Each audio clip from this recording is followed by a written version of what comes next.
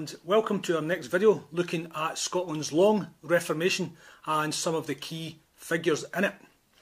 Now the last time we left off, Charles I had surrendered to the Scottish Covenanter Army um, and they had handed him over to the English Parliament.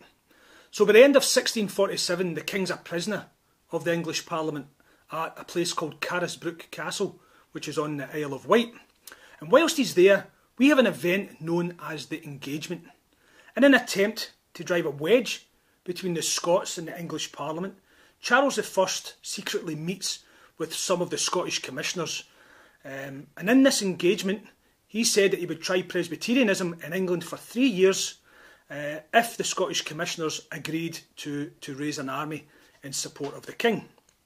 Now, whilst the Scottish Parliament agreed with this engagement, the leading Covenanters and, and the church in Scotland didn't, and they openly opposed it um, from the pulpits. So this made getting an army um, together more difficult for the for the Scottish Parliament. Um, but when they did, um, the, the army that they got just wasn't sufficient, and were easily defeated by the English Parliament uh, parliamentarian army at the Battle of Preston in August 1648. After this, the stricter Covenanters gained control in Scotland, and in January 1649 they passed the Act of Classes, which removes all these engagers from, from military and public office. Meanwhile, down in England, the king is put on trial for treason, and on the 30th of January 1649 he's beheaded. Now, this news isn't received well in Scotland because although the Covenanters had opposed Charles I, they didn't support his execution. Um, and almost immediately, the Scottish Parliament declared his son, Charles II, as king. And negotiations between Charles II and the Scottish Commissioners begin in Breda, in the Netherlands. Uh, this is where the king's been living uh, in exile. The Scots Assembly and the Parliament they lay down strict conditions on, on Charles II, and he's made to sign the National Covenant and the Solemn League and Covenant, which he does. Sadly, later on, we'll see just the king's insincerity in doing this, but anyway, he signs it and um, in June 1650 lands in Scotland. Almost immediately on hearing this news, the English army launch a preemptive strike against the Scots.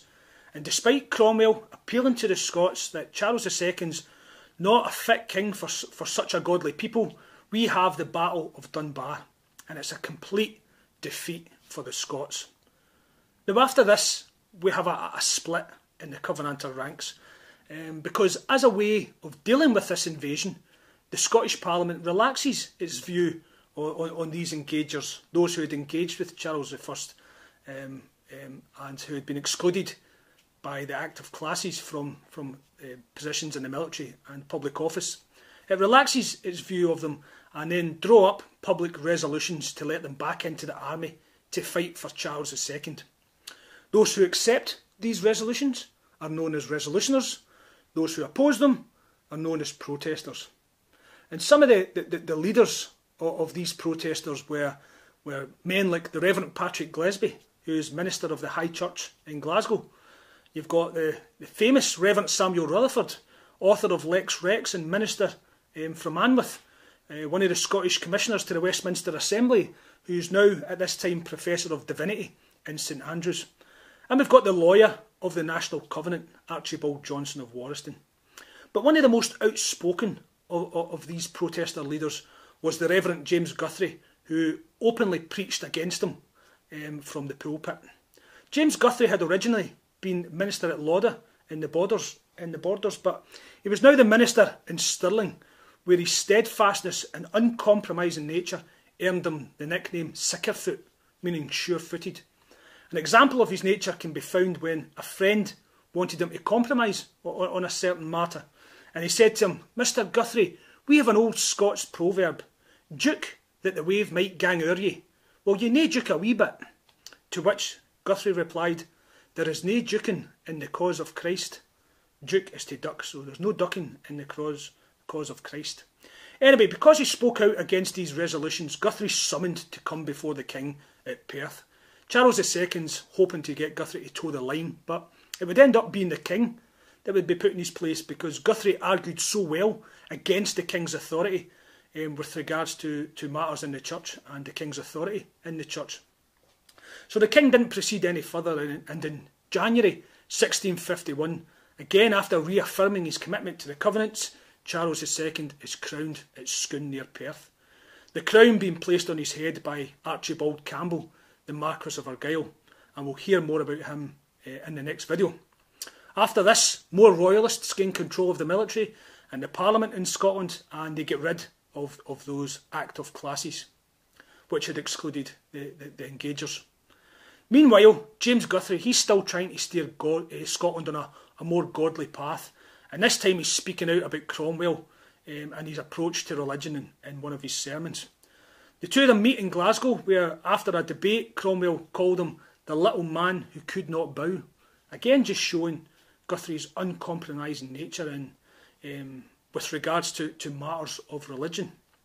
Now, with Cromwell still in Scotland, Charles II and a Scots Royalist army bypass him and invade England, hoping to gather support from Royalists in England um, and make it to London uh, to reclaim the, the, the, crown. However, he doesn't get any support in England, and Cromwell is pursuing after him. And the two sides meet at the Battle of Worcester in September 1651, which is to be the last battle of the English Civil War. And it's a complete victory for Cromwell and his army, and the, and the Scots Royalist army is completely defeated. Charles II escapes, and after a few close calls, manages to make it over to France. And that leaves Oliver Cromwell now ruling over Scotland, England, and Ireland as, as Lord Protector. So, what was it like um, in the beginning of the 1650s? Well, Scotland's in a bit of a mess, and the Covenanters they're split into two groups: the Resolutioners, supporters of Charles II, who are blaming the state of the nation on a lack of unity, and you've got the Protesters, those stricter Covenanters, who are saying that the, the country's in this mess because, as a nation, we are not seeking Christ in all matters. James Guthrie said that it was the, the ignorance of so many people that are taking the covenants that was the, the cause of God's wrath on Scotland. And he specifically attacked the, the Scottish ministers who he said were allowing anybody to, to take the, the covenants um, without actually educating them as to what they were and the, the seriousness of attaching your, your names to them. In fact, he goes on to write a pamphlet called The Causes of the Lord's Wrath against Scotland, in which he lists a, a whole series of issues with the nation and the church in Scotland. The protesters they also refuse to accept the authority of the General Assembly, which is being led by, by mainly by resolutioners. And in July 1653, both sides actually hold separate General Assemblies in St Giles in Edinburgh, with a partition separating them. However, Cromwell's military governor in Scotland he dissolves them as there's some suspicion that they're in contact with some Highland royalists who were having an uprising in the north, which is known as the Glencairn Rising. Now, there would be no more General Assemblies in Scotland for, for 37 years. But in Scotland, um, what was it like for the Covenanters uh, during Cromwell's time? Well, he supported the protesters over the resolutioners, and although neither side, protester or resolutioner, uh, recognised his authority. And although there was no General Assembly allowed, um, there was peace and freedom to preach the gospel. And it was a time when many were converted in Scotland. In fact, one Presbyterian said that he believed that there were more souls converted to Christ in that short period of time than in any season since the Reformation. And he goes on to say that every parish had a minister, every village had a school, every family almost had a Bible, Yes, in, in, in most of the country, all of the children could read the scriptures and were provided with Bibles either by their parents or by their ministers. Now, Oliver Cromwell dies in 1658, leaving his son Richard in control. However, Richard he doesn't have the same ability to rule as his father does, and in 1660 the exiled Charles II is asked to return and declared king. Now, he's welcomed into London with great festivities um, this is known as the Restoration, the restoration of the monarchy. Even in Edinburgh, there's a great party. However, in Scotland, Charles II has old scores to settle, and almost right away he begins to hunt down the Covenanter leaders. One of the first that Charles has executed is James Guthrie. Now, there's many charges against Guthrie, but it was his pamphlet, The Causes of the Lord's Wrath Against Scotland, that was one of the, the main ones. And there was also a personal grudge being held by, by a man called John Middleton, um, who was a King's Commissioner in Scotland. Guthrie had, had excommunicated him several years earlier, so there was a, a grudge being held by Middleton. James Guthrie goes to the gallows on the 1st of June 1661, and his last words before he died were, The covenants, the covenants shall yet be Scotland's reviving. After he was, he was killed, his head was taken and placed on a spike above the city gates um, of Edinburgh as a warning to others.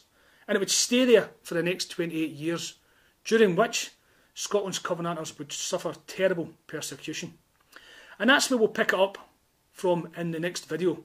We'll look at the restoration of Charles II and we'll look at the restoration martyrs. We'll look at the beginning of the persecution and we'll see how the Covenanters resisted uh, Charles II. So thanks again for watching. Uh, we'll bring the next video to you to you shortly, and um, thanks again. Take care. Bye.